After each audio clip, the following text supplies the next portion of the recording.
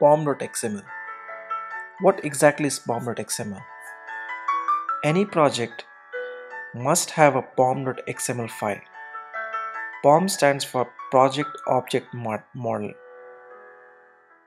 POM is the Maven project descriptor just like your web.xml in your Java EE web application or if you've used Ant in the past it's just like your build.xml in any Ant project.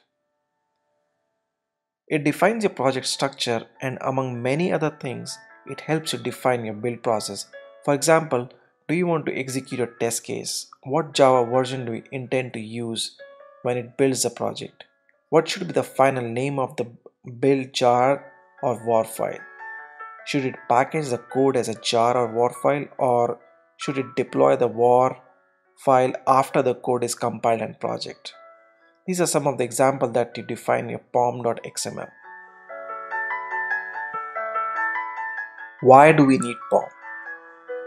Enterprise level projects typically depend on a variety of open source libraries. So consider a scenario where you want to add log4j to your application logging. To accomplish this, you would go to log4j download page, download the jar file and put it in your lib folder or add it to your project's class path. As you may all know already that there are a couple of problems with this approach. First is after you have downloaded the jar file, then you also need to download the other jar file that log4j depends on. For example, log4j depends on common.jar file.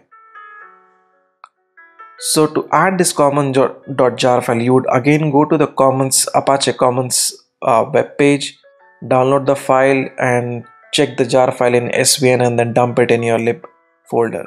And if it commons .jar depends on something else you would do the same thing again. And when it times to upgrade the log4j to a newer version we'd go through the same hassle of downloading each and every jar file over and over again. And the last thing that you will know is that uh, this kind of project is uh, very difficult to share the jar file across the teams. So uh, to address all these problems, Maven provides declarative dependency management.